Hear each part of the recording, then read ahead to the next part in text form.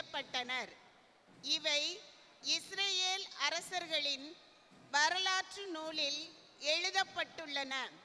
யூதா மக்கள் அவர்களது துரோகத்தை முன்னிட்டு பாபிலோனுக்கு நாடு கடத்தப்பட்டனர். தங்களுக்கு சொந்தமான இடங்களிலும் நகர்களிலும் முதன் முதலாக குடியேறியவர்கள் இஸ்ரேலரும் குருக்களும் லேவியரும் கோவில் பணியாளருமே யூதா பென்யமீன் எப்ராஹிம் மனாசே மக்களுள் எருசலேமில் குடியிருந்தவர். ஊத்தாய் இவர் அம்மிஹூதின் மகன். இவர் ஓம்ரியின் மகன். இவர் இம்ரியின் மகன். இவர் வாணியின் மகன். இவர் பெரேட்ஸின் புதல்வருள் ஒருவர். இவர் யூதாவின் மகன். சீலோன் மரபில் தலைமகன் அசையாவும் அவர் புதல்வரும் கேராகின் புதல்வருள் எகுவேல். அவர் உறவினர் அறுநூற்று தொண்ணூறு பேர். பென்யமின் புதல்வருள் சல்லு. இவர் மெசுல்லாவின் மகன். இவர் ஓதவியாவின் மகன். இவர் அஸ்னுவாவின் மகன். எரோகாமின் மகன் இப்னயா மிக்ரியின் புதல்வர்களாகிய உசியின் மகன் ஏலா இப்னயாவின் புதல்வராகிய ரகுவேலுக்கு பிறந்த செபத்தியாவின் மகன் மெசுல்லாம் தலைமுறை அட்டவணைப்படி அவர்கள் உறவினர் தொள்ளாயிரத்து ஐம்பத்தி ஆறு பேர். இந்த ஆட்கள் அனைவரும் தங்கள் மூதாதையர் மரபில் குடும்ப தலைவர்களாயிருந்தனர். எருசலேமில் வாழ்ந்த குருக்கள். குருக்கள் எதாயா யோயாரிபு யாக்கின் அசரியா இவர் இல்கியாவின் மகன். இவர் பெசுலாமின் மகன். இவர் சாதோக்கின் மகன். இவர் மெராயோத்தின் மகன். இவர் கடவுளின் இல்ல பொறுப்பாளரான அயித்தூபின் மகன். அதாயா இவர் மல்கியாவின் புதல்வரான பஸ்கூருக்கு பிறந்த எரோகாமின் மகன். இவர் அதியேலின் மகன். இவர் யாகிசேராவின் மகன். இவர் மெசுல்லாமின் மகன். இவர் மெசிலேமித்தின் மகன். இவர் இம்மேரின் மகன். அவர்கள் உறவினரும் அவர்கள் மூதாதையர் மரபில் குடும்ப தலைவர்களுமாயிருந்த ஆற்றல் மிகு வீரர் ஆயிரத்தி எழுநூற்றி அறுபது பேர். இவர்கள் கடவுளின் இல்ல பணிகளில் ஈடுபட்டிருந்தனர். லேவியருள் செமாயா இவர் அசூபின் மகன். இவர் அஸ்ரிகாமின் மகன். இவர் அசபியாவின் மகன். இவர் மெராரியின் புதல்வருள் ஒருவர். பகபக்கர் எரேசு காலால் ஆசாபின் புதல்வர் சிக்ரிக்கு பிறந்த மீகாவின் மகன் மத்தனியா. எதித்தூனின் புதல்வன் காலாலுக்கு பிறந்த செமாயாவின் மகன் ஓபதியா நெட்ரோ பாவியரின் சிற்றூர்களில் வாழ்ந்த எல்கனாவுக்கு பிறந்த ஆசாவின் மகன் பெரக்கியா எருசலேமில் வாழ்ந்த கோயிற் காவலர் வாயில் காப்போர் சல்லூம் அக்குபு தல்மோன் அகிமான் மற்றும் இவர்கள் உறவினர். சல்லூம் இவர்களின் தலைவர். இவர்கள் இன்று வரை கிழக்கில் அரச வாயிலை காத்து வருகின்றனர். இவர்களே லேவியர் பாளையத்தின் காவலராய் இருந்தவர்கள். கோராகின் புதல்வர் எபியா சாபுக்கு பிறந்த கோரேயின் மகன் சல்லுமோம். அவர் தந்தையின் வீட்டாரும் உறவினருமாகிய கோராகியரும் கூடார நுழைவாயில் மேற்பார்வை பணிக்கு நியமிக்கப்பட்டிருந்தனர். முன்பே அவர்களின் மூதாதையர் ஆண்டவரது பாளைய வாயிலை காத்து வந்தனர். எலையாசர் மகன் பினகாசு முற்காலத்தில் அவர்களின் அதிகாரியாக இருந்தார். ஆண்டவர் அவரோடு இருந்தார்.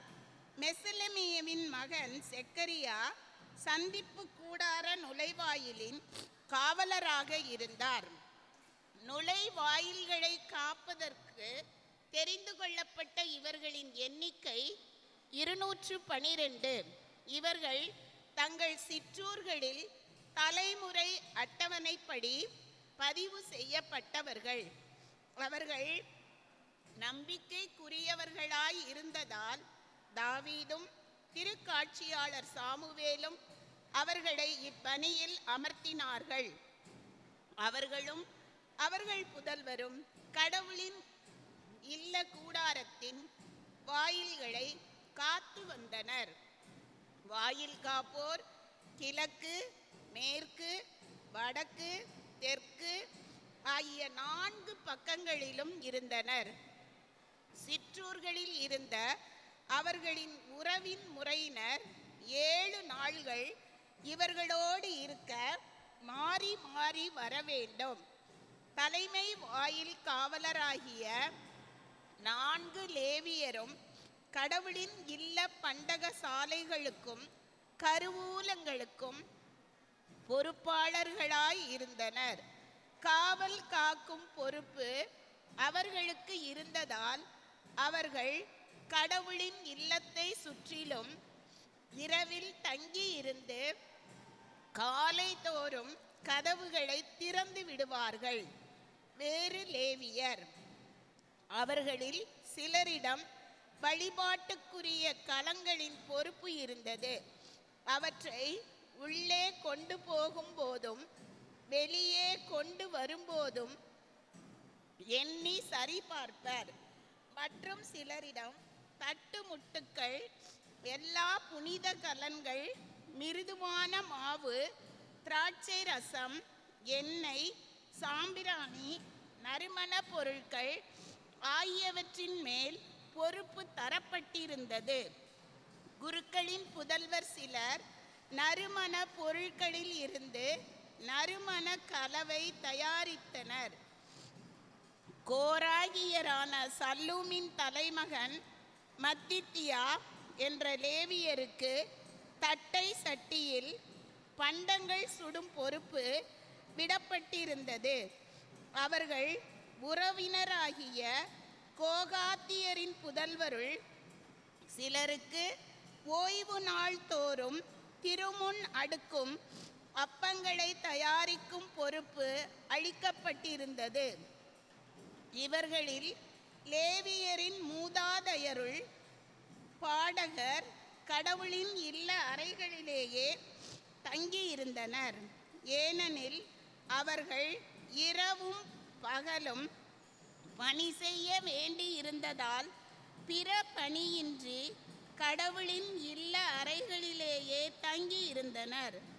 தலைவராகிய இவர்களே தலைமுறை அட்டவணைப்படி லேவியருள் குடும்பத் தலைவர்கள். எருசலேமில் குடியிருந்த தலைவர்கள். அரசர் சவுலின் மூதாதையரும் வழிமரபினரும். கிபயோனில் கிபயோனின் தந்தை எயியேல் வாழ்ந்து வந்தார். அவர் மனைவியின் பெயர் மாக்கா. அவர் தலைமகன் அப்தோன். மற்றவர்கள் சூர் கீசு பாகால் நேர் நாதாபு கெதார் அகியோ செக்கரியா மிக்லோத்து மிக்லோத்திற்கு சிமையாம் பிறந்தார். இவர்கள் எருசலேமில் தங்கள் உறவின் முறையாரோடு வாழ்ந்து வந்தார்கள். நேருக்கு கீசு பிறந்தார். கீசுக்கு சவுல் பிறந்தார். சவுலுக்கு யோனதான் மல்கிசுவா அபினதாபு எஸ்பாகால் ஆகியோர் பிறந்தனர். யோனத்தானின் மகன் மெரிபு பாகால் மெரிபு பாகாலுக்கு மீகா பிறந்தார். மீகாவின் புதல்வர்கள் பித்தோன் மெலேக்கு தகரேயா ஆகாசு. ஆகாசுக்கு யாரா பிறந்தார்? யாராவுக்கு அலமேத் அஸ்வா அஸ்மாமேத் சிம்ரி பிறந்தனர். சிம்ரிக்கு மோட்சா பிறந்தார். மோட்சாவுக்கு பினேயா பிறந்தார். இவர் மகன் ரபயா. இவர் மகன் எலையாசர். இவர் மகன் ஆட்சேல். ஆட்சேலுக்கு ஆறு புதல்வர்கள் பிறந்தனர். அவர்கள் பெயர்கள் ஆவன. அஸ்ரிகாம் பொக்கரு இஸ்மயேல் செயர்யா ஓபதியா ஆனான். இவர்கள் ஆட்சேலின் புதல்வர்கள். அரசர் சவுலின் இறப்பு. பெலிஸ்தியர் இஸ்ரேலரோடு போரிட்டனர். இஸ்ரேலர் பெலிஸ்தியர் முன்பாக புறமுதுகு காட்டி ஓடினர். கில்போவா மலையில் வெட்டுண்டு வீழ்ந்தனர். பெலிஸ்தியர் சவுலையும் அவர் புதல்வரையும் துரத்தி பிடித்து சவுலின் புதல்வர் யோனத்தான் அபினதாபு மல்கிசூ அவன் சகோதரர் யோகா மகவாயரான எலியேல் என்னாமின் புதல்வர் எரிபாய் யோசவியா மோவாபியரான இத்மா மெட்சோபையரான எலியேல் ஓபேது எகசையேல் என்பவர்களே ஆண்டவரின் அருள்வாக்கு